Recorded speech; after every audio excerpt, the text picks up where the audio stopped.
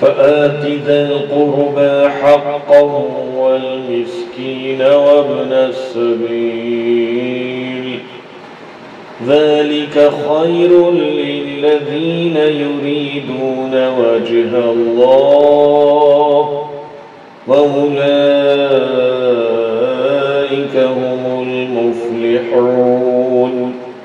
بس قرابت والے کو اس کا حق دے اور مسکین کو اور مسافر کو یہ ان لوگوں کے لیے بہتر ہے جو اللہ کا چہرہ چاہتے ہیں اور وہی فلاح پانے والے ہیں۔